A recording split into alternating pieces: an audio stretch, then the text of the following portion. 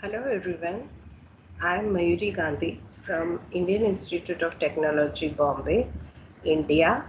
And today my topic is fabrication of polyethylene imine conjugated fluorescent MXene nanosheets and its cytotoxic evaluation. So in introduction, we can say that recent advancement in two-dimensional material have brought MXene into the attention due to its exciting property as very promising material for various applications. Due to their structural similarity to graphene, titanium carbide has gained tremendous attention since discovery in 2011. The MX phase composed of titanium aluminum carbide where N suggests an early transition metal with N is equal to 1 to 4. A represents elements from 13 or 14 of periodic table and X is a carbon or nitrogen. MXenes are synthesized using selective etching of aluminum using hydrofluoric acid and fluoride salts. The elimination of aluminum leads to the fabrication of multilayer 2D MXene sheets, giving them an accordion-like structure stabilized with van der forces and hydrogen bonds. Many researchers have started research with the MXenes from 2011 and still it is going on and different type of MXenes are reported in different type of research.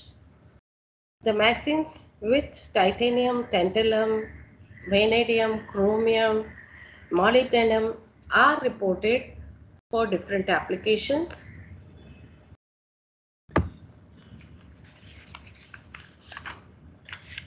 Since the discovery of material has gained tremendous popularity among the researchers due to the tunable optical and magnetic properties and excellent conductivity, the MXene magazines are reported till date such as nanosheets, quantum dots, nanopyramids, nanoribbons, aerogel, aerogels, etc. And till date, it is advanced. It is till date with the advancement of interdisciplinary approaches of titanium carbide with other variants of transition metals have shown enormous potential and it has used for different applications like environment, energy, electronics, catalysis, optical uh, material, structural material and electrochemical uh, capacitors and all others. And it is used for the different applications but then for bio uh, biological applications still it is not much used. And that's why we want to use this material for biological applications. And we can explore the biological applications like wearable sensors, multiple functions, theranostic agent, agents, photothermal therapy, drug delivery, scaffolds and bone regeneration, neural and osteoconductivity, DNA sensing, macrophage labeling, cell labeling, bioimaging sensing, antibacterial and guided cellular growth.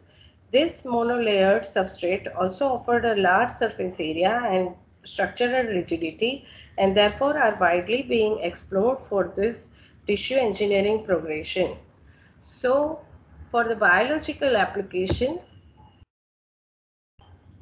the material needs to be biocompatible, hemocompatible and non-immunotoxic and should be well dispersed in the biological medium.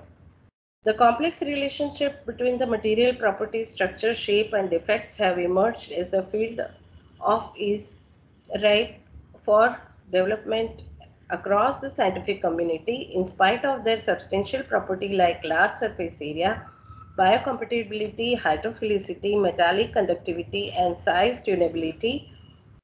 The use of MXene is restricted in the biological applications due to its poor stability in physiological environments, lack of sustained and controlled drug release, and low biodegradability. This specific property of 2D MXenes can be achieved and regulated by designing multi-component or multidisciplinary, multi-dimensional nanosystems and inventing innovative fabrication strategies that are of great significance, which is itself of full challenges. This limitation lead to the notion of adopting MXene polymer nanocomposites. polymers are proposed incorporate with various 2D material to alter their chemical and mechanical properties. The polymer MXene composite shows better mechanical property, thermal property, rheological property, gas barrier property, and better dispersibility. Numerous fabrication method and grafting techniques could be utilized to synthesize MXene polymer composites. Polyanilines, polyethylene, polyethylenimine are studied, reported by researchers worldwide for different fields of science. Cationic polymers such as polyethylene imine have historically, historically dominated the material used in the field of biomaterial science, biotechnology and biomedicine. The highly positive charge polymer can easily absorb on the negative charge 2D material by electrostatic attraction to form coating. However, the disadvantage of the physically entrapped PEI in their easy detachment from the substrate or high or their high toxicity to cell. Here this report of PEI based MXene composite is fabricated using straightforward facile and environmental friendly hydrothermal process. The titanium carbide are dispersed with PEI and then heated heated to 200 degrees centigrade in Teflon line autoclave to synthesize PEI functionalize PEI MX. The major surface functional group of the titanium carbide formed during the initial exfoliation using HF is further enhanced by hydrothermal reaction resulting into the better dispersibility.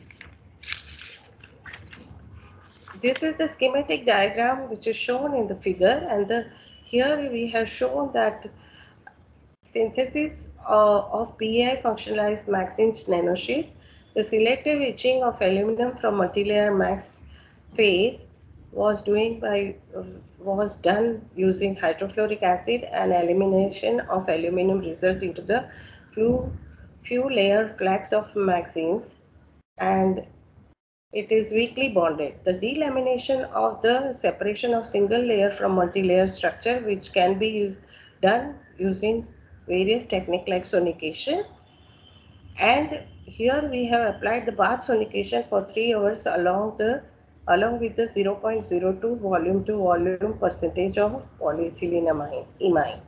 And afterwards, solution was hydrothermally treated at 200 degrees centigrade for 24 hours to yield PEI functionals ultra small MXene sheets that is called PEI MX and the schematic preparation of PEI MX is illustrated in the figure. And the control of the same procedure was followed without the use of PEI and resultant nanosheet was referred as MX.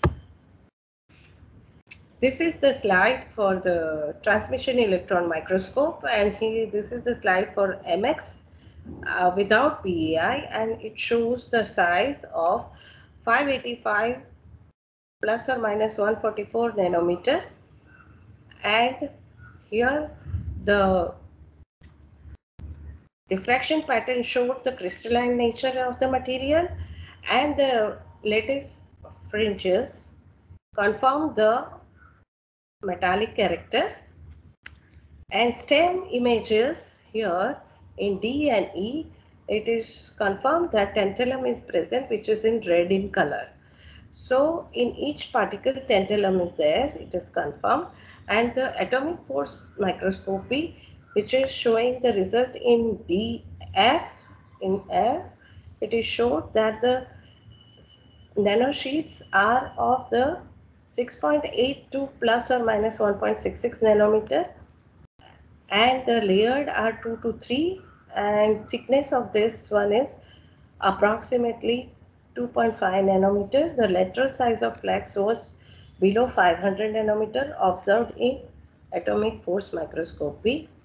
And in the next slide, it is shown that with PEI, the MXene sheets are size were considerably reduced and in the transmission electron microscope, it is shown that the size is of 111.42 plus or minus 25 nanometer. And And in the STEM images, the red color is shown for the tantalum and the atomic force microscopy, which is shown the size of 2.63 plus or minus 0.85 nanometer, which is consistent with the single layered MXene flux and the size flux was below 200 nanometer observed in atomic force microscope, which is very less than MX flux.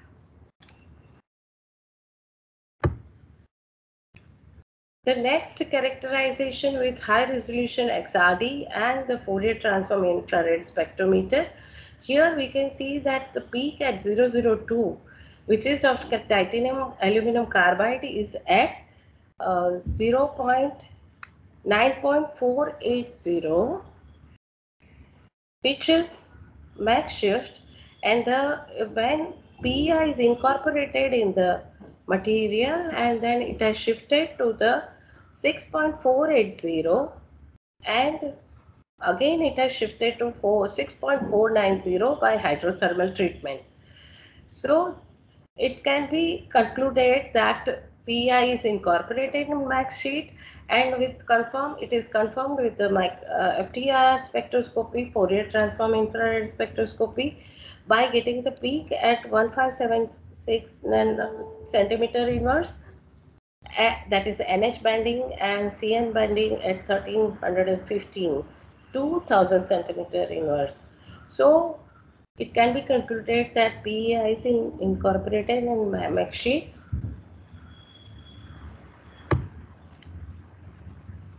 The optical properties 2D material has always been topic of interest among the researchers. MXene colloidal solutions are known to be exhibits absorption in UV range as well as in the NIR range. The UV visible absorptions of titanium carbide showed absorption peak at 276 nanometer and 745 nanometer. The MX shows peak at 321 and the broad peak in near IR absorption and the uh, PEI-MX which is in the red line red line which is showing the broad absorption in the UV region UV to visible region that is 250 to 600 and another near IR region a strong absorption is uh, is seen from 650 to 1200 so this is the material which can be used for the photothermal therapy and uh, for the fluorescence spectroscopy which was applied and the characterization the mostly being quantum dots of ultra small nanosheets of size 2.8 to nanometer are reported possess of autofluorescence property due to various reasons such as defect size or quantum confinement. But in MXenes, the uh, fluorescence are uh, dependent on the excitation wavelength and when it is excited at 250 nanometer, it shows the emission at 390, 390 nanometer and when the excitation wavelength changes, eh, the uh, emission wavelength also changes. The excitation dependent fluorescence arises due to the involvement of discrete multiple electronic states which is generally implies the presence of multiple oxygen and nitrogen containing functional groups. PI is also known to enhance the fluorescence intensity to the presence of amine functional group. And this dispersibility, which is the main concern for the biological applications, that MXene sheets are known to have good dispersibility in aqueous media due to the presence of surface terminated group like oxygen, OH and fluoride. So here we have taken different type of solutions like titanium, aluminum carbide, titanium carbide, uh, titanium carbide, titanium aluminum carbide and titanium uh, carbide bath sonication, MX, then uh, PEA by MX and all those solutions when we kept for 4 hours then it has gone down and uh, it has uh, sedimented. Only the two solutions were not, not sedimented that is PEI MX and PEI tantalum carbide solution or negative. And after 24 hours, all the solutions were sedimented.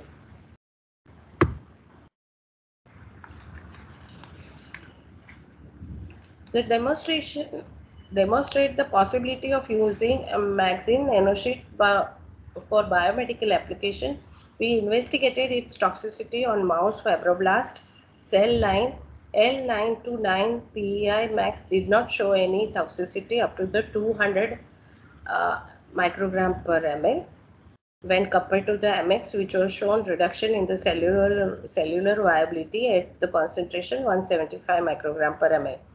However, both the concentration are remarkable considering the family of 2D based material.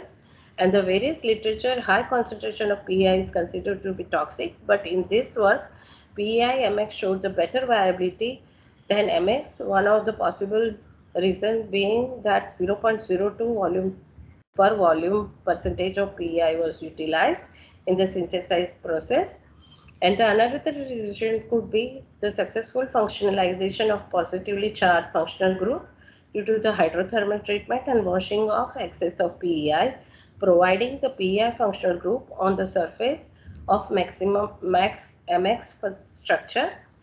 The reduced size of the sheet due to the hydrothermal treatment further assisting assists assist in the increasing the cellular viability. So in conclusion, we can tell that P polyethylene imine functionalized MXene nanosheet was were fabricated using selective etching of aluminum from max phase and then hydrothermally treated the PEI dispersed titanium carbide solution PEI MX. PEI served a dual functional function in the process, it facilitates the delamination of MXene as well as the provided positive charge functional group of PEI-MX nanosheets. The sheets were nano monolayered with the average lateral size of 111.42 nanometer compared to the control MX of 2 to 3 layered thick which is of the size 585 nanometer. PEIMX showed strong absorption in UV and near eye region with excitation dependent fluorescence. So PEIMX shows high biocompatibility up to 200 microgram per ml.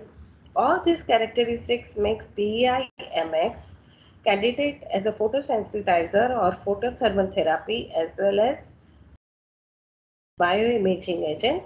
PEIMX also showed high dispersibility compared to the MX but still needs further improvement and still research is going on with this material and I would like to acknowledge Department of Biotechnology India sophisticated analytical instrument facility IIT Bombay and central facility in IIT Bombay. Thank you.